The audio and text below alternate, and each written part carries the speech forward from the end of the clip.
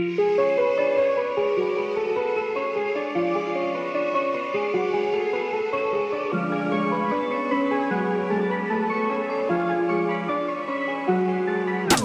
first time I went to prison, I was 14 years old.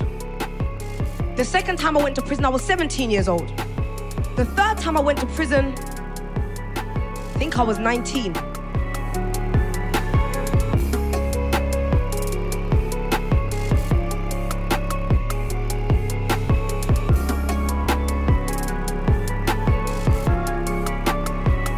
Name is Mrs. Tamar Michelle Goff.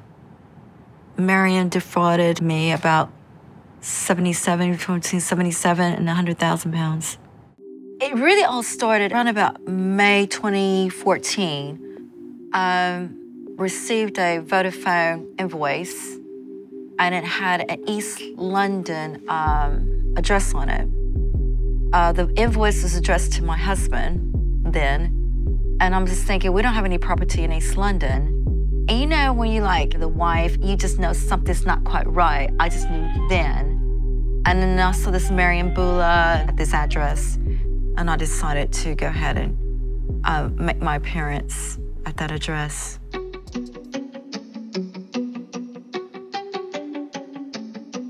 I don't know, I just had a bad feeling when I uh, arrived at that property. And this woman answered the door, and I knew then that wasn't, it wasn't Mariam. It, it just didn't feel right. Something just, just didn't feel right.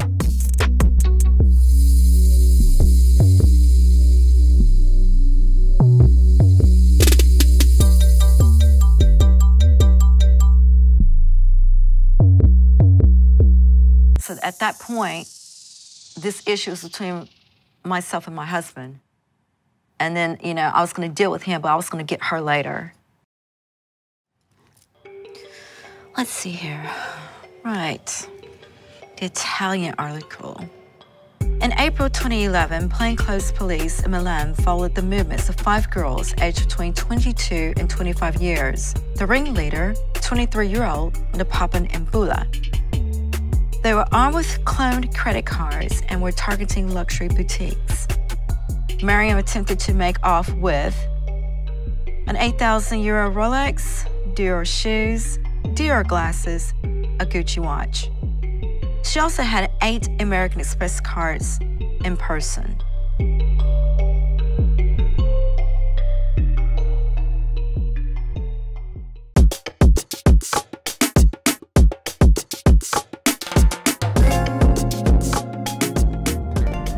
It was definitely a front for her to collect money and the people are not getting the products.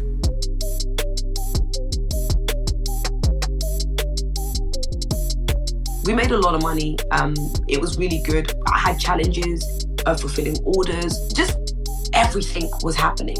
I woke up one morning and I was arrested that morning, and then I went to jail, and that was kind of it.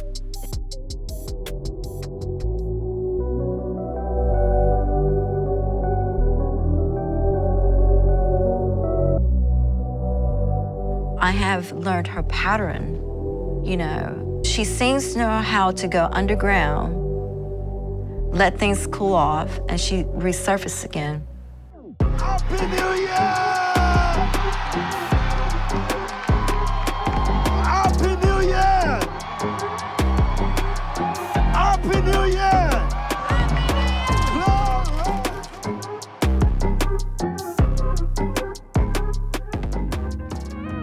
My name is Sarah, and Mariam made me take out a 5k loan, which I'm still trying to pay back today. The first time I met Mariam was around three weeks after I started at SPAC Nation. I was like, oh my God, like, this woman is so wow. Hi guys. Welcome to Love House. My name's Mariam, and we have like eight people. Said to my girls this morning, I don't know what you think is happening in this house. I tell you what to do with your finances. I tell you where you're going. It's not like you have an option. A house of order is a house that will prosper. That was her whole agenda. Finding people with good credit or finding people who haven't taken out loans before and just doing whatever she can to completely destroy it and to just squeeze as much as she can out of them.